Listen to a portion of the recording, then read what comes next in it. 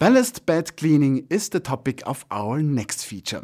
Material recycling in the track under repair is a logical development considering the fact that the excavated material is processed anyway.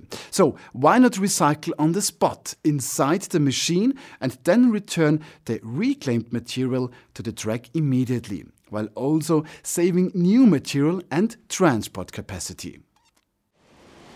The RM900VB is not the first machine of its kind by Plasser and Theurer, but it is unique in its wide range of equipment.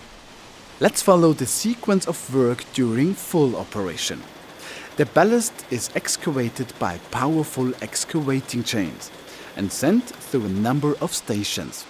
First comes the recycling process, where coarse soiling and foreign matter is removed and the ballast stones are sharpened.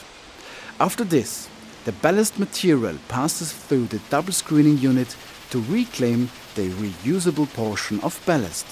Finally, the cleaned ballast is placed and distributed by conveyor belts and a ploughing unit.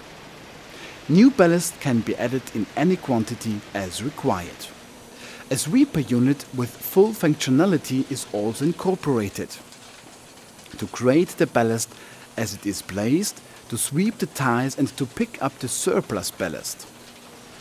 Two dynamic stabilizing units ensure the greatest possible initial quality of the track geometry.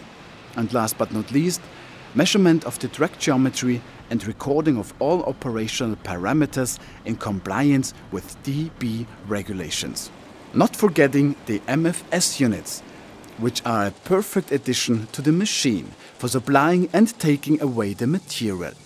At the front they are loaded with spoil and at the rear they supply the new ballast. The finished track is already compacted and provides the best foundation for all the following stages of work.